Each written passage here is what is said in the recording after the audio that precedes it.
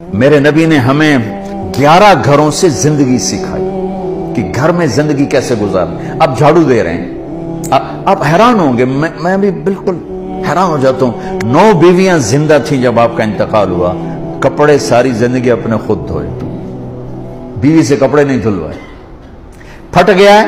عائشہ ذرا سی دینا۔ نہیں، خود سوئی دھاگا اٹھا کے سی۔ جوتا ٹوٹ گیا ہے۔ میں مونا ذرا میرا جوتا ٹھیک کر نہیں، جوتا اٹھا کے خود ٹھیک کیا ہے۔ یہاں چائے پہ بےزت اور ہوتی ہیں بیویاں، تو ٹھنڈی چائے دیتی ہیں۔ بٹن پہ بےزت ہو رہی ہوتی ہیں، تو انہیں میرا بٹن نہیں لگا۔ زندگی سکھائی گھر والوں کے ساتھ کام کرنا سکھایا، اظہار محبت سکھایا۔ میں آپ کو سیرت کے وہ پہلو بتا رہا ہوں جو ہماری زندگی کو انتہائی خوبصورت بنا دیں گے۔ آپ عجیب حدیث سناؤں آپ کو۔ آپ نے کہا یا عائشہ، انہو لیہون علی الموت ان اریتو کی زوجتی فی الجنہ. عائشہ، اور اللہ کی قسم یہ دلداری اور ہمیں سکھانے کے لیے تھا. عائشہ، جب سے مجھے پتا چلا ہے تو جنت میں بھی میری بیوی ہے، مجھے تو موت ہی اچھی لگنے لگ گئی. اللہ اکبر اللہ اکبر۔ عرب کے ماحول میں اس دور میں۔ بیوی سے اظہار محبت عیب تھا اور معشوقہ کے لیے پوری شعر و شاعری بھری پڑی۔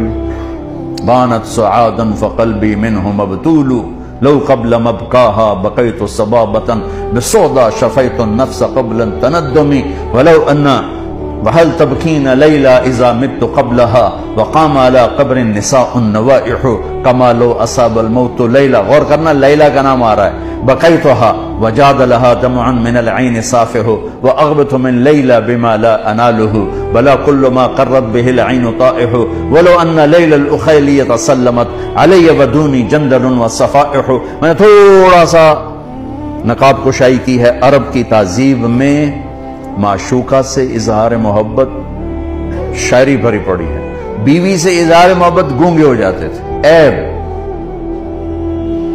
بچے کو پیار کرنا، اٹھانا عیب۔ اور میرے نبی حسن حسین کو یہاں اٹھا کے باہر آ جاتے تھے۔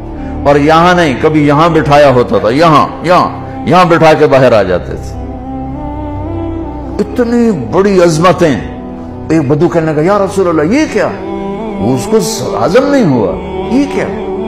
آپ کو ان سے اتنا پیار ہے۔